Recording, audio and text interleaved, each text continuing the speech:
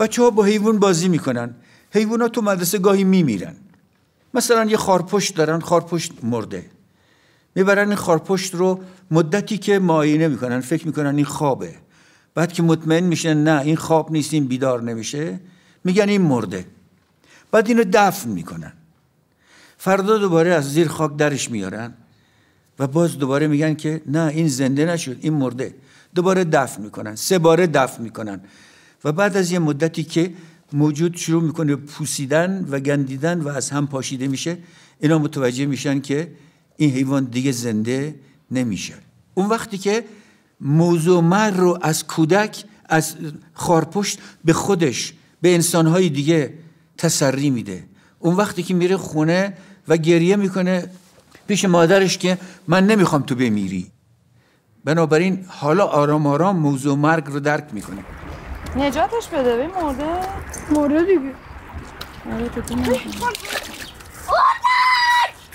چرا اینقدر داد می‌زنی؟ اردک اردک خودمون آوردیم خب آلرژی دارم ای من تو حساب اومار شکست بدم عدم مردم گرفت.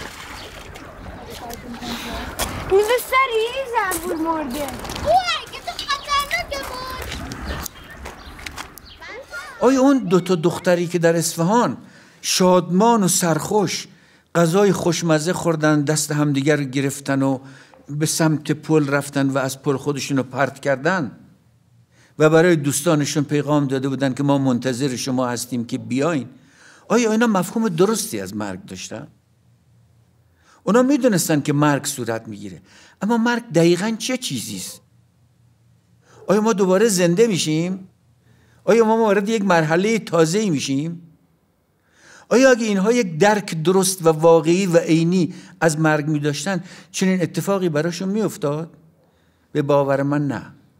اونها درک درستی از مرگ ندارن. و این درک درست در تعامل با طبیعت شکل می‌گیره. مثل درک درست هر چیز دیگری.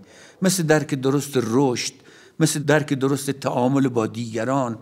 مثل درک درست سازگاری با با شرایط سرما، گرما، خشکی، گشنگی، تشنگی، بیخوابی و درک درست از هر چیز دیگری که امروز کودکان ما محروم از طبیعت چنین درکی رو ندارند.